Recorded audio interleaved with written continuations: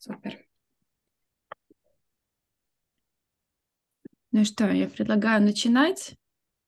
Вот, всего лишь час. Мы поймали Ксюшу между рабочими звонками. 9 утра по Калифорнии — это всегда очень сложное время. Вот, но, к сожалению, пересечений с Москвой и с европейским временем не так много. А, всем привет! А, меня зовут Алиса. А, я один из основателей основательниц, не знаю, как это правильно, комьюнити компании AirTeam. В AirTeam мы занимаемся тем, что находим классных ребят, классных профессионалов. А, в основном это страны СНГ, но есть также Латинская Америка, Индия. А кто хочет работать в Штатах и у кого есть классные навыки, такие как маркетинг, дизайн, веб-разработка, и кто хочет доработать немножко свои навыки и проверить свои шансы на то, чтобы найти работу в штат. Мы в этом помогаем, у нас есть менторы, как раз Ксюша один из наших менторов, а, у нас есть образовательные продукты, есть карьерный буткемп, который можно пройти в течение пяти недель а, и подготовиться к поиску международной работы с фокусом на США. А, с нами сегодня Ксюша здесь. А, Ксюша моя очень близкая, хорошая подруга, и также у Ксюши супер интересный а, опыт и путь, о котором хотелось сегодня бы поговорить. А Ксюша сейчас работает продукт-дизайнером в Мете, в Фейсбуке. Вот, Ксюш, привет, спасибо, что присоединилась. И у нас с нами э, Ксюша, тоже Ксюша. Ксюша, представитель сообщества такая, креаторов. ты вызываешь. Да, но я почему-то по видео не между вами, а так могла бы даже, может быть, желание загадать. Вот. А, да, девчонки, спасибо, что присоединились, и всем спасибо, кто к нам присоединился. А, мы вот уже знаем, что у нас есть люди из США, из э, Грузии, а, кто присоединился позже, тоже можете рассказать, откуда вы, и вообще так вкратце, что хотите, что ожидаете от этого а, часа, от вебинара. Я вижу АА, не очень уверена, что это, как обратиться.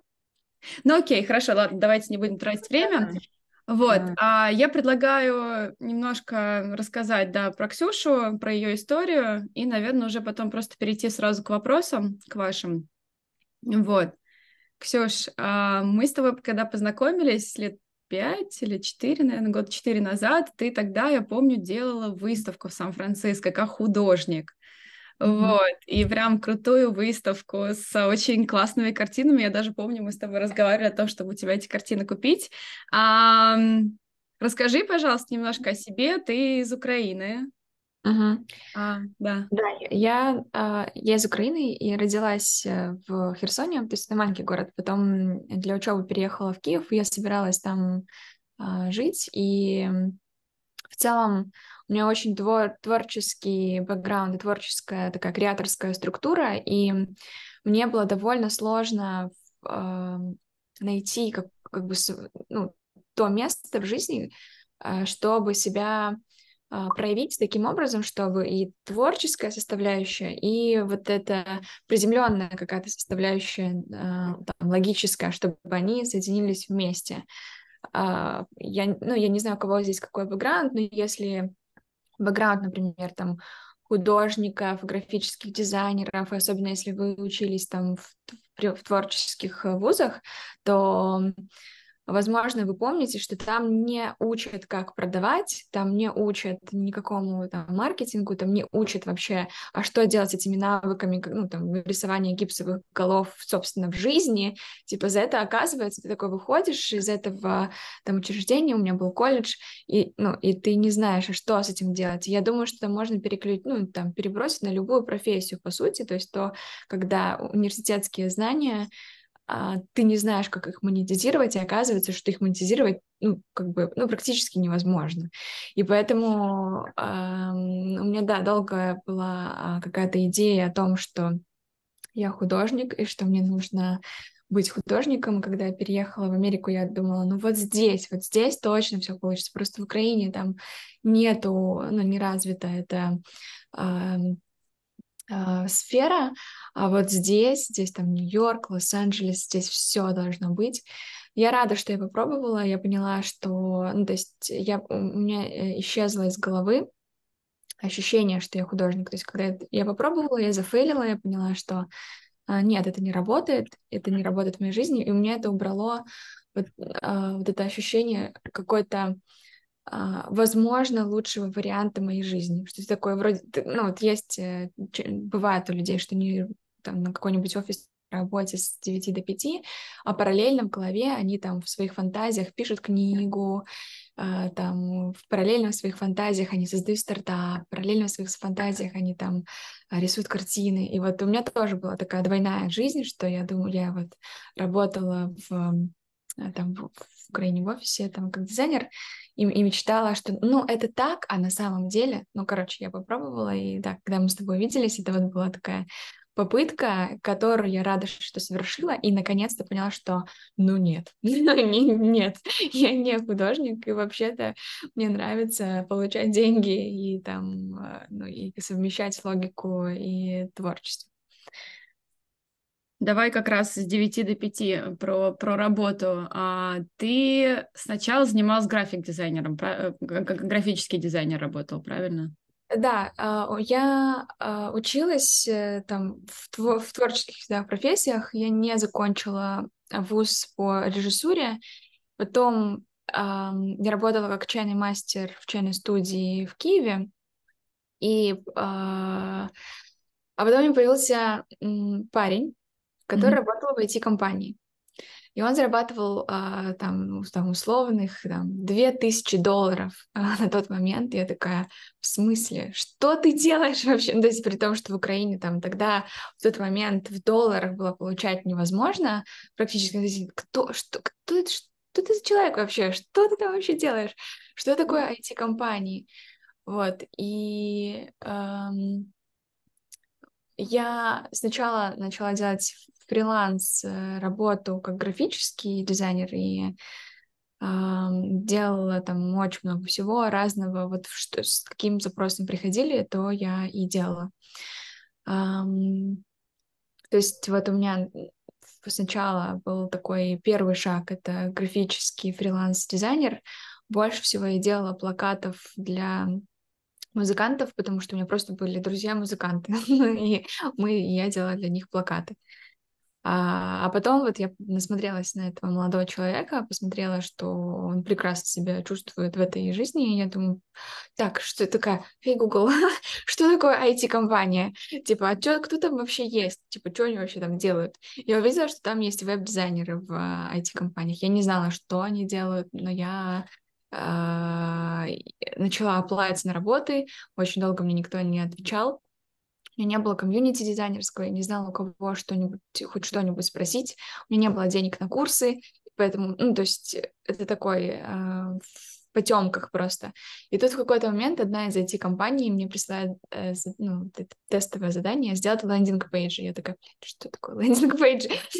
Google, что такое landing page и? Ну, то есть я вообще ничего не знала, у меня не было у кого спросить, ну, то есть максимум, что я могла, там, погуглить. Я даже из-за того, что у меня не было комьюнити, я даже не знала о никаких сайтах, что какие-то там Dribble, Behance, там, что есть какие-то статьи, ну вот просто информация ноль. И когда они прислали, что такое лендинг, ну, зада- эту задачу, я погуглила, сделала, и, и сделала вроде бы ну, неплохо. И они взяли меня на работу. Это вот была моя первая офисная работа в IT-компании в Украине, офис, который был в Израиле. Э, и мы делали там landing page и для продуктов, а, и они потом как-то через affiliate market их продавали. А, но дело в том, что из-за того, что я не знала, на самом деле, что такое landing page и, через э, несколько недель они ко мне пришли, то есть с таким вопросом, типа, ну, о моем профессионализме. Так. Ксения, как тебе помочь? Что тебе нужно? Как тебе помочь? Что сделать, чтобы ты начала получше работать? А, ну ты хороший работодатель. Это не каждый придет с таким вопросом. Очень ну, веришь, даже вышло. Ну да, ну то есть они видели, что ну, я вроде бы адекватный человек, но вот что-то, что-то, чего-то не хватает. Вот, и на, на тот момент а, у меня был, там была команда из пяти человек-дизайнеров, и я просто несколько дизайнеров попросила вот просто отвечать на все мои вопросы, mm. как есть. Вот, и так я, ну, я попросила дать мне еще две недели, и, а, ну, потому что мне кажется, что они, они такие с, предложением меня уволить при, приглашали на этот разговор. Вот, и за эти две недели я там как-то попыталась проявиться. Вот. Тебя оставили? Я оставили, да. Вы хор- хороший, нам нужен хэппи-энд. а, а потом ты, значит, переехала в США, и как пере- произошел переход из graphic design а в UX-дизайн? А училась ли ты где-то? Ну, то есть, каким образом вообще... И почему ты решила перейти в UX, UI дизайн? А, я... А, ну, то есть у меня вот графический дизайн, потом там веб-дизайн. А, просто... Что значит веб-дизайн? Просто мы создавали landing page. А потом вот с этим же молодым человеком мы переехали в США. То есть его пригласили на работу, я переехала вместе с ним. И эм, я поняла, что в США никто не создает landing page и. Ну, то есть тут это, это чем-то занимаются другим. Занимаются UX, UI дизайном. Я такая, опять? Хей, Google, что такое UX, UI дизайн? Ну, то есть я вообще не знала. Что это такое? Что такое продукт дизайн? Это, ну, вообще была загадка века. Чем отличается? И я очень долго не могла понять. Когда мне ну, на тот момент я уже поняла, что нужно искать комьюнити, а, что нужно, чтобы были люди, чтобы у них можно было что-то спросить. Я начала ходить на какие-то meetup ы, и когда я спрашивала, ребята, что вы делаете в течение вашего дня, я такие, ну вот, мы там изучаем юзера, делаем research. Такая, господи, что? А вы вообще хоть что-нибудь рисуете, там, может, какие-то кнопочки такие? Ну, это там 10% от работы. такая, а все остальное, а вот эти 90, это что такое? Ну, то есть мне очень долго не было понятно. Прям, ну, то есть я вообще не могла понять. Почему тогда это называется дизайн, если это не, не дизайн? Ну, типа, в смысле? Ну, почему нельзя назвать это по-другому? Um, короче говоря, uh, я поняла, что мне нужно какое-то абсолютно новое портфолио, то есть все мои landing page и, которые я рисовала до этого, они не подходят. А, я начала искать обучение, но обучение стоило там, 15 тысяч долларов. Вот там есть такие General Assembly и ну, какие-то буткемпы, за которые они обещают, что за 3 там 3-6 месяцев мы создадим несколько кейсов для портфолио и эм, сделаем портфолио. Uh, и, ну, то есть Почему я решила э, в UX UI дизайн идти дальше? Потому что, ну, есть какой-то бэкграунд. Я хотела поменять, поменять э, профессию. То есть то, что я слышала э, о продукт-дизайне, мне вообще казалось, что это не дизайн. Ну, то есть что там от дизайна осталось вот ничего. то есть осталось вот эти 10% того, что я люблю, что-нибудь там порисовать в фигме, а все остальное это что-то вообще непонятное. Я думала попробовать там маркетинг э, пойти, потому что там... Э, но в итоге... Давай вот так вот, можно я вопрос задам? А продукт дизайн что для тебя? Ну, то есть Сейчас? Что ну, вообще, да, что для тебя продукт дизайн и почему он так сильно отличается от того, к чему ты привыкла, и что там минимальное количество дизайна? Продукт uh, дизайн, он направлен, он он, он чем-то похож на в идеальной его какой-то форме на предпринимательство, потому что продукт uh, дизайн вот в этом словосочетании продукт и дизайн. Там есть продукт и дизайн. Mm-hmm. и чем отличаются продукт дизайнеры там от других дизайнеров? Тем что они думают не просто о том, как нарисовать э, что-то красивое, а в первую очередь о продукте. Не эм, теперь наоборот влюблена в эту вот как раз в эту часть, все, что не касается нарисованного и красивого, потому что эм, здесь вот эти навыки, ну, можно развивать навыки ну, отдаленно напоминающие предпринимательство. То есть ты идешь к... Ну, что такое продукт? Это то, что можно продать там юзеру, а чтобы ему, э, им это продать, ему, им это должно быть нужно, и поэтому этот продуктовый подход, когда ты сначала идешь к юзеру, спрашиваешь, а в чем его проблема, а, эмпатируешь ему, вот здесь включается там часть психологии, то есть ты эмпатируешь э, э, своему юзеру, э, чувствуешь, какая у него там на самом деле проблема, что он говорит и что он имеет в виду, задаешь ему вопросы, потом э, ты эту проблему пытаешься решить с помощью продукта, вот тут там вот эти 10% собственно рисования. И дальше а, там какая-нибудь коллаборация со всей командой, с э, инженерами, и вы там делаете какие-то гипотезы, делаете этот продукт, и потом смотрите, как он по цифрам работает. И вот это вот все, вот это вот все вместе, это продукт э, дизайн. И он, собственно, тема отличается, что а, нужно, чтобы это в итоге стало нужным продуктом. То есть не просто эм... рисовать лендинг-пейдж никому не нужный. А, да, да, без вообще спрашивания, там, ампутирования юзеров и смотря на результаты. Точнее, да. Вот это вот все, э, вот этот весь процесс, а, это, это создание дизайна ну, всего, там, пути юзера, э, там, дизайна продукта, дизайна вообще ментальной модели, может быть, какой-нибудь новой а, для юзеров. Ну, то есть вот, вот это, может быть, э, имело смысл бы назвать каким-то новым словом, но, тем не менее, вот этот дизайн мне нравится, потому что он реально рядом с предпринимательством. Угу. Скажи, а ты ты упомянула о том, что у тебя не было портфолио как UX, UI дизайнера, а как ты решила эту проблему? Я, я примерно знаю историю, но она такая очень а, долгая и с, с большим количеством деталей, но, наверное, да, расскажи вкратце, да, как ты собрала это портфолио и попала на первую работу. Я так понимаю, что это был стартап, да, в Штатах?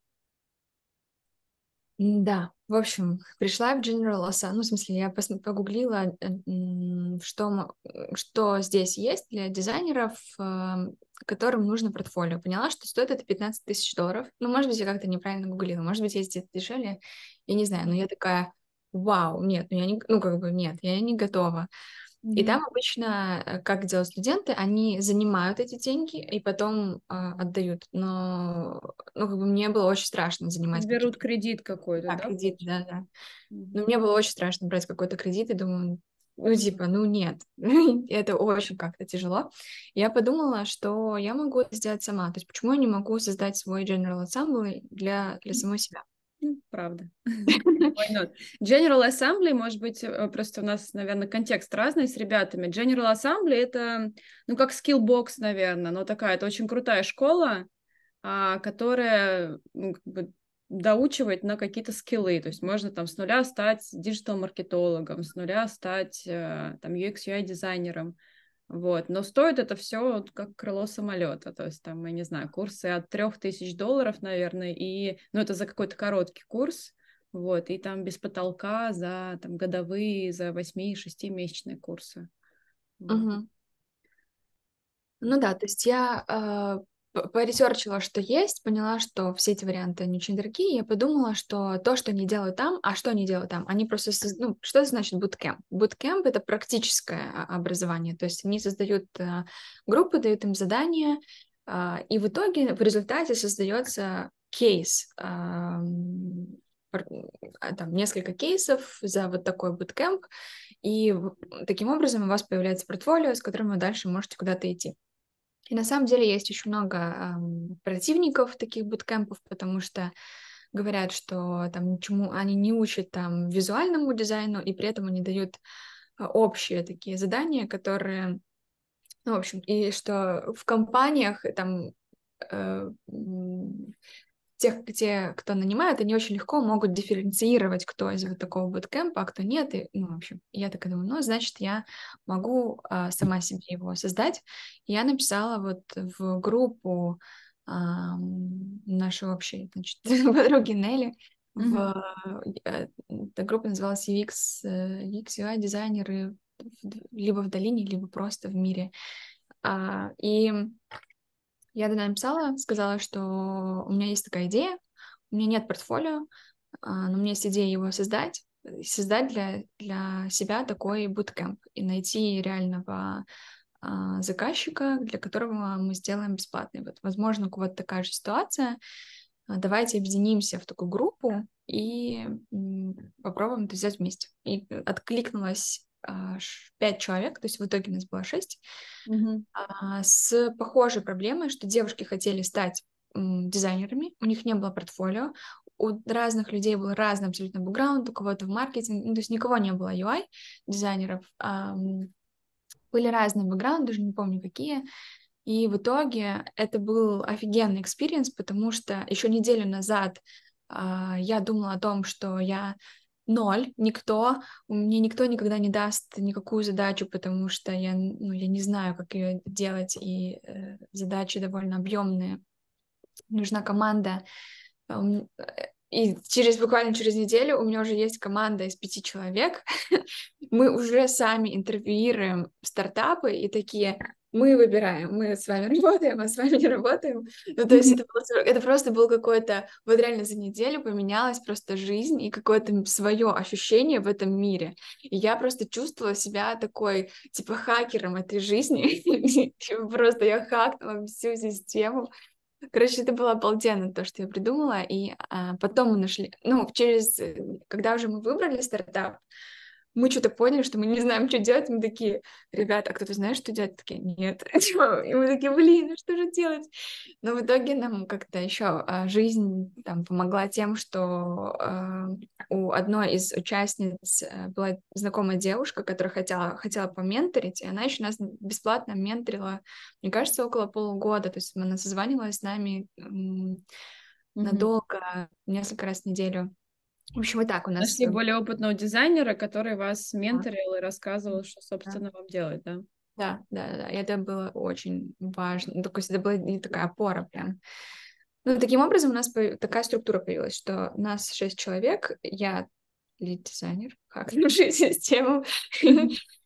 А, у нас есть ментор, который э, очень хорошо знает э, весь материал, эм, есть у нее время и желание нас учить, и стартап, который мы выбрали, а, с которым мы работаем. Мы на самом деле, то есть это одновременно позитивный и негативный опыт. Мы, за, мы, мы зафейлили этот стартап, мы не закончили, а, ну, то есть мы там как-то его там бросили на середине, потому что а, не хватило, ну, там, коммуникация с этим, с, ну, SEO-фаундером, там, коммуникация внутри команды, все это довольно сложно.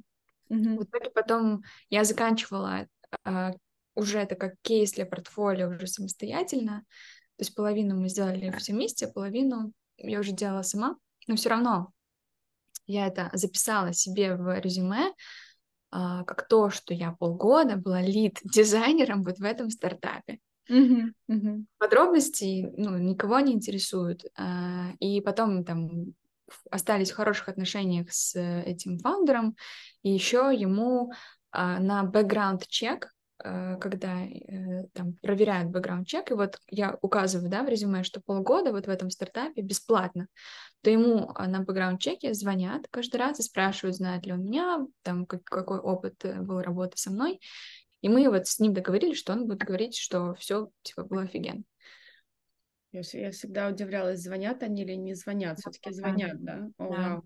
Ну, это, наверное, это даже... на Facebook и большие компании. Я думаю, что стартапов просто нет времени для этого. Ну, да, да, бэкграунд-чек это, это для корпораций. Да, да. Вот, ну, наверное, у меня последний вопрос, да, ну, собственно, ты поработала на несколько стартапов, я так понимаю, да, то есть работала ли ты как фрилансер или работала ты в команде? Вот, и как э, совершился твой переход из стартапов э, в Facebook? Хотела ли ты туда попасть? Долго ли ты искал эту работу? Искал ли ты эту работу? Долго ли это заняло? Я потому что знаю, что иногда собеседования там могут по полгода проходить. Вот. А как у тебя все это выглядело? Ну, в общем, спустя вот э, полгода э, работы у меня есть один кейс в портфолио, но это только один, а нужно для м, дальнейших шагов еще два, mm-hmm. то есть всего три. И э, следующее, что я сделала, я просто м, спросила у всех, ну, у многих друзей, могу ли я у них поработать в их стартапе как дизайнер. Mm-hmm. И вот э, Legion Farm, mm-hmm. Леша Белянкин мне а, таким образом помог, что он взял меня в свой стартап а, с зарплатой, ну, то есть это не была бесплатная работа, еще и там, зарплата, и а, там а, благодаря их а, задачам у меня появилось еще два кейса. И как только у меня появилось вот еще два кейса, mm-hmm.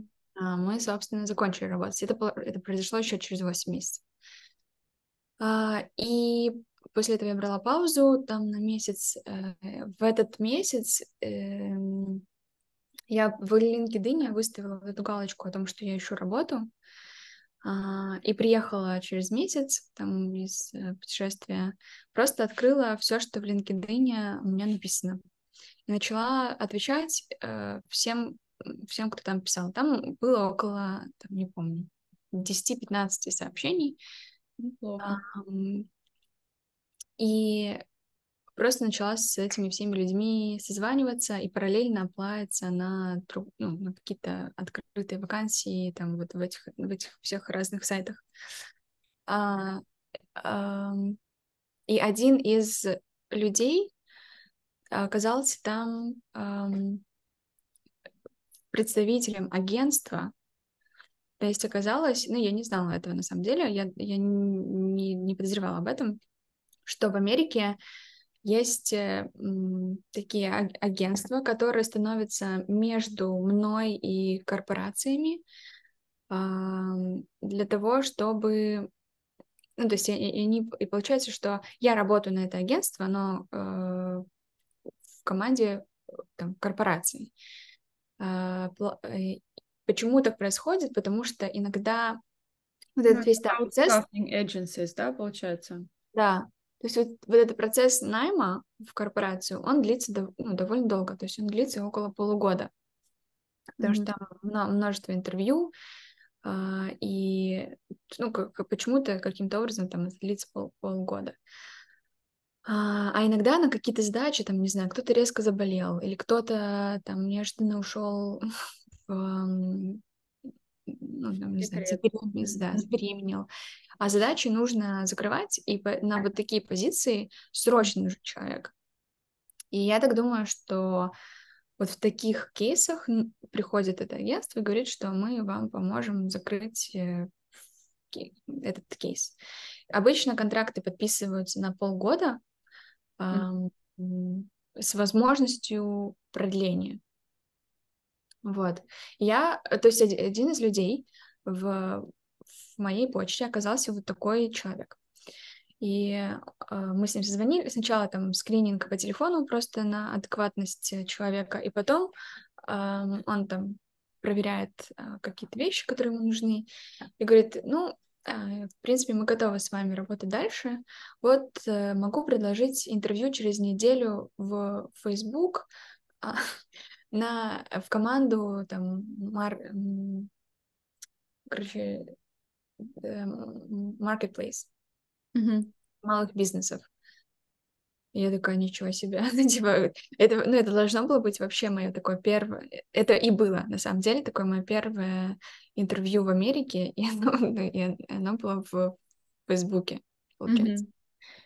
Uh, и я еще, ну, а я на этой um, такая пыталась вспомнить вот то ощущение хакера мира, то, mm-hmm. которое тогда возникло. Это такое ощущение, да?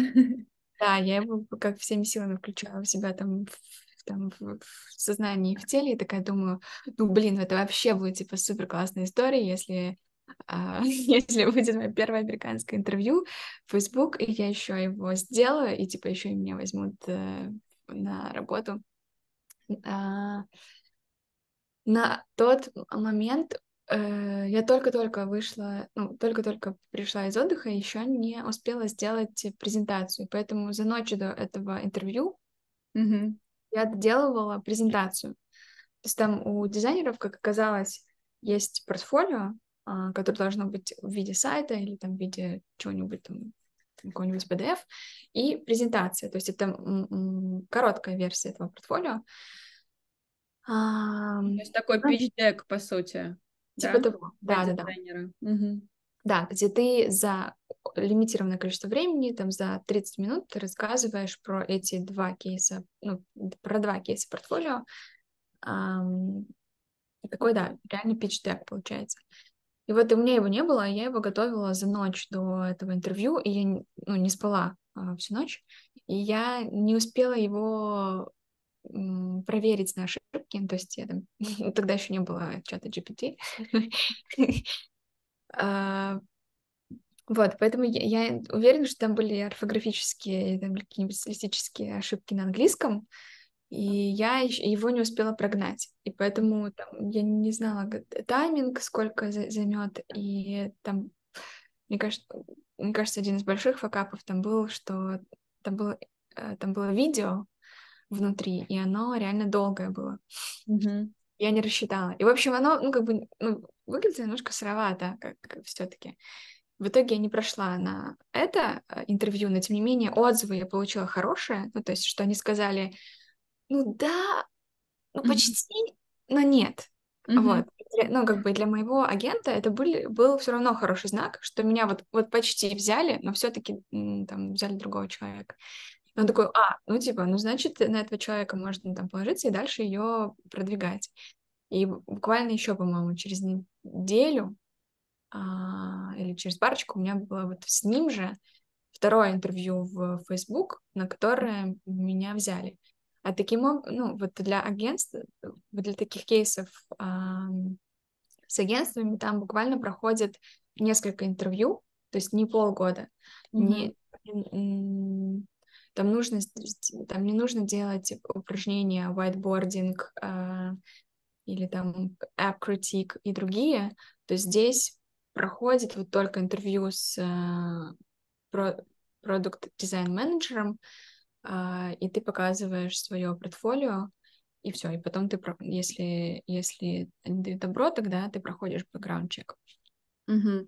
Ну, наверное, один из лайфхаков поиска работы на американском рынке, это, наверное, если вы хотите попасть в большую корпорацию, такие как Facebook, Google и так далее, найти такие агентства, которые нанимают контракторов, потому что попасть э, сразу же в корпорацию, особенно если вы фрилансер или если вы работаете как контрактор в Штатах, либо как контрактор вне Штатов, да, то есть практически невозможно. Ну, то есть проще, гораздо проще попасть сначала в пул этих агентств, и их очень много, то есть они там между собой конкурируют, но обычно у больших компаний типа Facebook и Google у них есть ну, какой-то пул этих агентств, а, с которыми они работают. Вот. А, мы, наверное, можем какой-то список выслать, попозже, после, после вебинара. А, где их искать, да, и как они называются. Вот, у меня, наверное, закончились вопросы, мы так пробежались по опыту Ксюши, по тому, а, по, по таймлайну, да, там, что, что где работало, а, наверное, вопросы от э, аудитории, вот, какие-то да, более конкретные, а, да. Еще, кстати, вот пока ты говорила, кстати, блин, очень классно, спасибо, что рассказала про свой путь. Для меня это даже как какое-то, ну, приоткрыть какую-то совсем мне неизвестную сторону, поскольку я, ну, как бы, я не дизайнер такой, ну, то есть у меня были какие-то графические там а, навыки, но посмотреть на это с точки зрения, как вообще люди пробивают себе, это, конечно, восхищение. Ты вот сказала, что у тебя были какие-то ошибки, скорее всего. У нас как раз вопрос был от мирокреаторов. А, задавали, какой уровень английского нужен, чтобы mm-hmm. нужен, а, может, есть какие-то школы, специализирующие именно на изучении английского в сфере дизайна и CG, как вообще, как вообще с английским и с переездом и со всеми этими, наверное, интервью, как у тебя было, может быть, да, поделишься. С английским... А, у меня был какой-то базовый английский, когда... То есть я могла... Мне в этом смысле...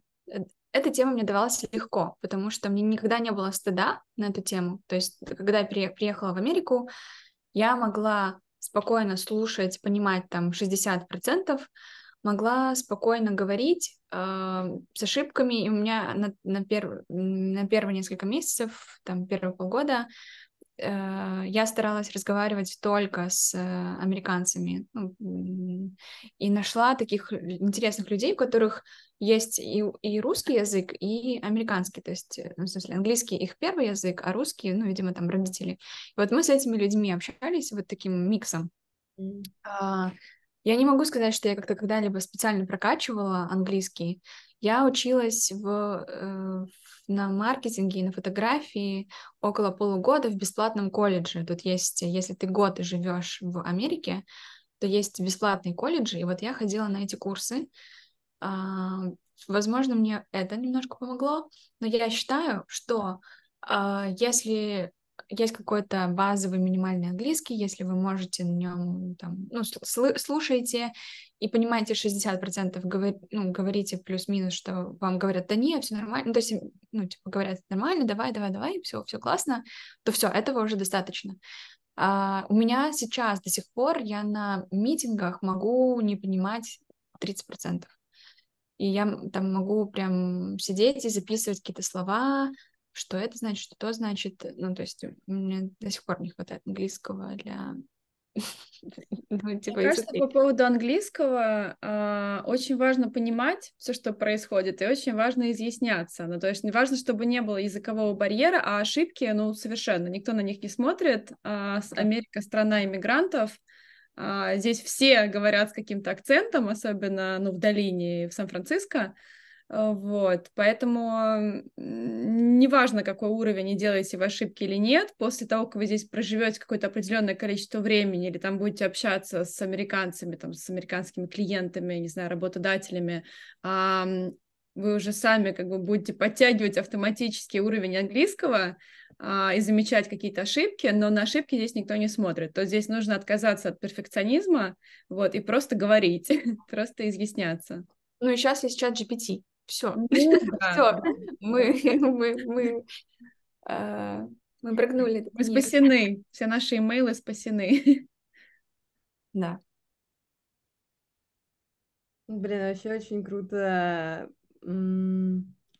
Ну, вообще, это так э, похоже на то, что ты уже сказала про свой путь, когда ты просто, ну, как бы вбрасываешься в среду, и там уже разруливаешь, а, уже в процессе гуглишь, что такое, также и с английским, как будто ты, ну, не видишь вот этой вот преграды, что перед тобой что-то есть, и ты такая уже сидишь на какой-то встрече и еще там записываешь какие-то слова, блин, это очень вдохновляет. А, может быть, есть какие-то еще вопросы, да, у ребят, которые сейчас здесь. А, Кристина, кажется. Да, да, да, да, привет. Э, еще раз спасибо за рассказ, Ксюша, очень интересно и классно. Вообще супер. Мне очень понравился твой подход, что ты не боишься сложностей, и все это круто получается. Ну, Окей, да, все боятся. Я, но... я сверхтревожный человек, если что. У меня, ну, то есть у меня очень много тревог. Это моя вообще базовая эмоция, на самом деле понимаю. Вот, ну, у меня есть вопрос э, по поводу э, вообще, ну, есть ли что-то, может быть, что очень важно при найме, на что смотрят? Понятно, что на портфолио, может быть, в портфолио какие-то штуки, но вот что, может, для тебя стало открытием, вот на что обращают внимание, э, на что вот стоит обратить внимание, когда хочешь устроиться на работу? Cultural fit очень важно. То есть ну, э, я перед тем, как приходила на какие-либо собеседования, я э, читала, ну, там, даже на Facebook э, читала про команду э, и пыталась свой опыт, свои ценности немножечко перевернуть таким образом, чтобы это звучало продающе для этой команды. Ну, вот я могу, я уверена, что меня взяли в эту команду в Фейсбуке благодаря Cultural Fit, потому что тогда я работала в комьюнитис, ну, это было собеседование в комьюнитис в Фейсбуке, то есть вот эти группы комьюнитис. Uh, и я сказала, что вот я иммигрант, и ну, и они, по-моему, всегда спрашивают, а почему вы хотите вот в эту компанию или в эту команду? И вот к этому вопросу лучше всегда готовиться заранее и прям ну, прям как-то его очень мудро сформулировать, почему вы хотите, почему вы будете классным человеком э, в этой культуре, в этой среде. То есть э, я сказала, что так как я иммигрант, а, моя семья находится далеко, и комьюнити для меня это а, семья 2.0. И это, ну, на самом деле, правда. А, и я увидела, что это торкнуло прям этого проекта. Она такая, о, ну, типа, прям... Ну, и, и я поняла, что вот в тот момент я поняла, что меня, скорее всего, наймут. И я слышала очень часто от э, э HR и предпринимателей, что в первую очередь нужен человек, который, ну, как бы, как будет как пазл в команде, а, а потом уже его скиллы, ну, то есть и все такое. Вот на это стоит обращать внимание. А по поводу портфолио, там более глубоко, а, а, еще, еще мы будем делать, да, Алиса? Мы будем делать еще а, другую встречу, и там прям а, я расскажу про в портфолио, что в нем должно быть, какая у него должна быть структура, там есть определенная там, структура. Я занималась с ментором. Это, кстати, был супер э, мощный, невероятный лайфхак, лайфхак, который очень мне помог сделать супер крутое портфолио. А, когда мой менеджер а, говорит, ну сейчас в агентстве, а, он говорит, что мы, когда увидели твое портфолио, у нас там просто мы офигели. Ну, то есть таких портфолио там на рынке очень мало. А я занималась ментором а, именно для того, чтобы создать это портфолио. И он, я думала, ну, это, наверное, какая-то американская штука, то есть, но он мне это уже говорит раз пятый и говорит, блин, ну, с твоим портфолио, там, типа, мы, мы вообще там, ну, в общем, то есть он все время почему-то это говорит, и я прям понимаю, что, ну, значит, он действительно хорошо выглядит. И вот как сделать свое портфолио outstanding, это мы будем еще потом. И как сэкономить 15 тысяч долларов еще на Assembly. Да. Круто, спасибо. Обязательно буду следить э, за следующими встречами. Угу. У нас осталось 10 минут, потому что у меня hard stop, у меня в 9, э, в 10 звонок. Да, а, ребята, давайте, да, от вас вопросы. А, что... да. да, если можно, тогда вот быстренький вопрос. Ксюша, спасибо большое за то, что поделилась так искренне. И вот э, по ходу ты сказала, что а, вот э, с агентством не полгода, и поэтому ты вот избежала вот этой стадии там, где эптик, whiteboarding. Да. А, вот если можно, вот там буквально, если возможно, вот рассказать поподробнее, если не получается, например, с агентством, то что вот, вот эти вот стадии, как это в США, как это происходит, вот именно вот эти вот вещи? Да, есть... Как они э, оценивают? Э, есть супер крутая книга. Э, мы сбросим мы сбросим с Алисой тем, кто был, у кого у нас есть имейлы, там будет такой список, э, что нужно для того, чтобы попасть на американский, короче, в американскую компанию. И там будет книга. Я сейчас забыла, как называется. Могу встать, взять. Сейчас, если у нас хватит времени, я возьму, потому что на полочке лежит. Короче, супер крутая книга, и вот там а, именно как готовиться к вот этим всем дизайнерским упражнениям, их там а, четыре, uh, whiteboarding, app critique, uh, вот презентация и вопросы там про будущее, карьеру, планы, проблемы, как ты их решаешь и так далее. И так далее. Вот, у него есть в этой книге очень правильный гайд, которым надо пользоваться. А мы, ну, и, и эту книгу мне кажется, мы... у нас имейлы не у всех есть. Ребят, если можете скинуть в чат имейлы, мы отправим полезные материалы а, после вебинара, которые можно использовать для подготовки к собеседованиям. Да, Спасибо я думаю, большое. просто еще в чате тоже разместить, какие будут материалы, чтобы остались. Так, сейчас мы... Вот книга называется uh, solving design, product design exercises Артем um, Дашинский. Этой книге уже несколько, ну, много лет, лет пять, наверное, но все эти упражнения, они все еще актуальны. Uh, вот, вот по этой книге готовятся.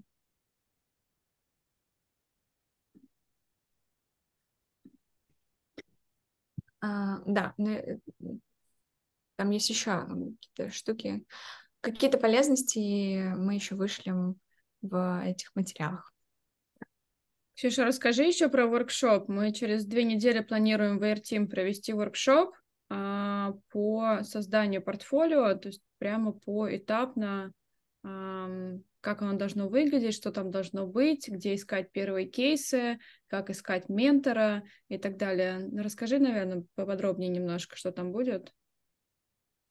Да, а, я в общем, я на самом деле считаю, да, что, э, что дизайн это одна из лучших профессий в мире, потому что не нужно получать образование, то есть у меня нет там, э, никакого дизайнерского или какого-нибудь другого образования. Э, можно, ну, то есть, короче, достаточно вот для того, чтобы войти в эту профессию, для того, чтобы там а, получаете там какую-то первую зарплату 150 тысяч долларов а, в год. Вот реально нужно просто yes. сделать а, из трех кейсов. Все. Ну и, и это и как бы это продать.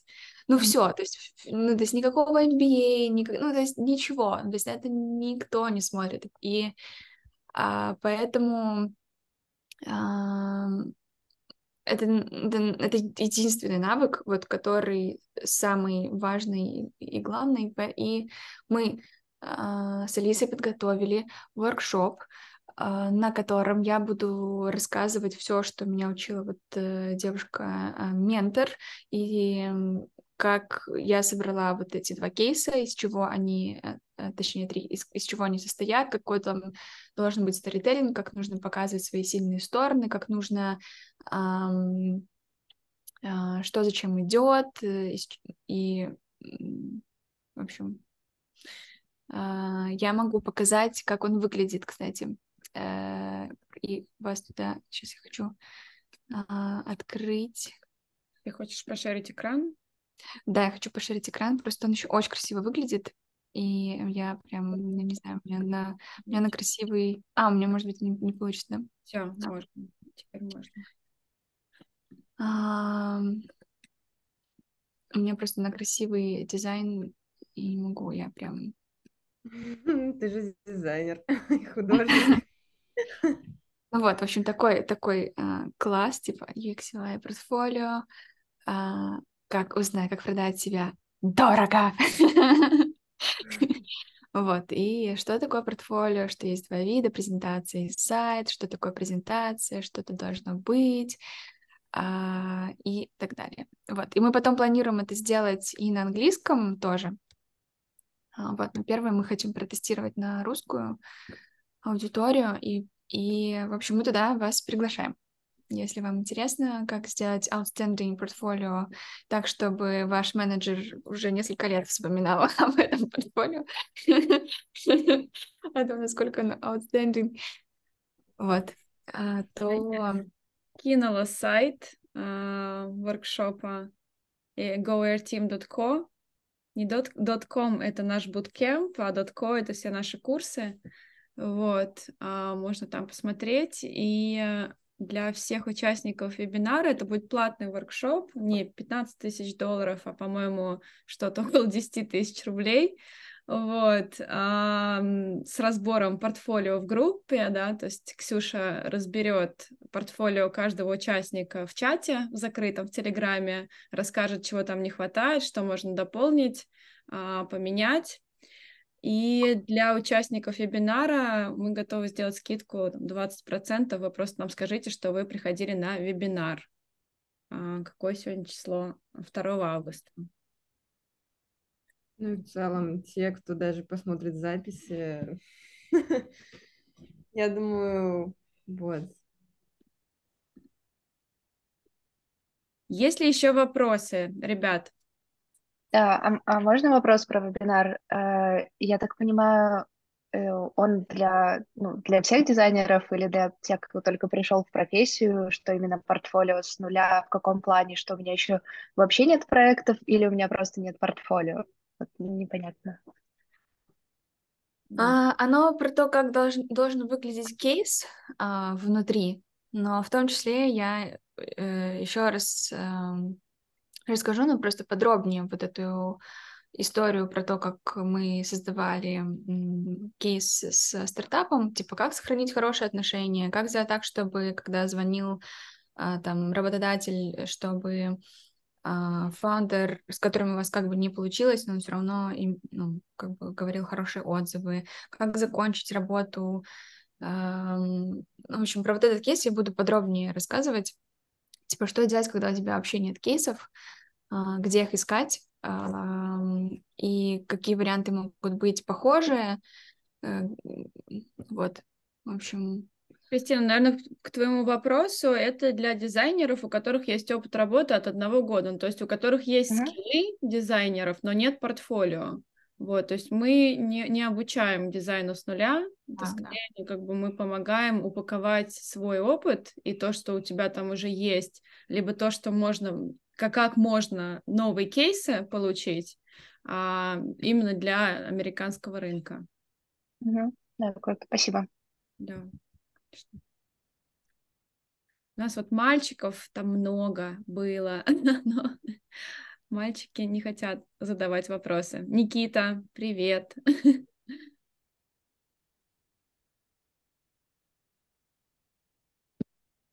Ну окей, ладно. Ну, в целом вообще уже так хорошо. Знаете, э, чтобы не затягивать, но и чтобы было как-то все по фактам. А, большую часть прослушал. Ну хорошо, мы отправим, э, если у нас твоя почта, Никит, мы отправим запись э, вебинара тем, кто подписывается. Поделимся еще в чате мир креаторов. Вот, э, я думаю, скинем чтобы как можно больше увидела, потому что, возможно, это вообще не очень, не самое удачное время, ну, то есть все живут по разным каким-нибудь а, часовым поясам, вот, так что... Да, пожалуйста. Э, Еще, если хотите, приходите ко мне в Телеграм а, канал, в блог, там есть хэштег мета на английском, и там я много чем делилась, и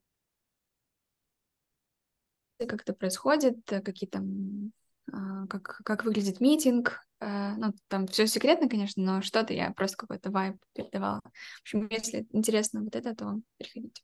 А пришли ссылку? А, ты прислала? А, супер, чатики есть. Ну что, классно. Спасибо, что пришли. У меня был такой, э, как тревожный человек. Я супер тревожилась, что никто не придет. А так вышло Здорово, что, а, что послушали, и я с удовольствием поделюсь э, вот в этом файле какими-то еще полезностями. Э, вот, так что спасибо за э, имейлы, и приходите на воркшоп. Там будет очень классно, ну, то есть я не знаю, что бы я делала без этого ментора. Ну, то есть я... Была полная глупость быть не в комьюнити в начале моей карьеры, была полная глупость не обращаться к дизайнерам за помощью, не работать ни с кем. Вот ментор и обучение — это вообще лучшее, что может придумать человечество на самом деле. Оно точно сокращает время. Хорошо, Ксюш, спасибо огромное. А, всем хорошего дня, вечера. На кому-то ночи. Вон, кому-то ночи, да. Никита, спокойно. Спасибо большое, спасибо огромное. Очень спасибо. полезно было, спасибо. Супер, тогда все отправим информацию в чатик и на имейлы. Да, всем, всем пока. Пока.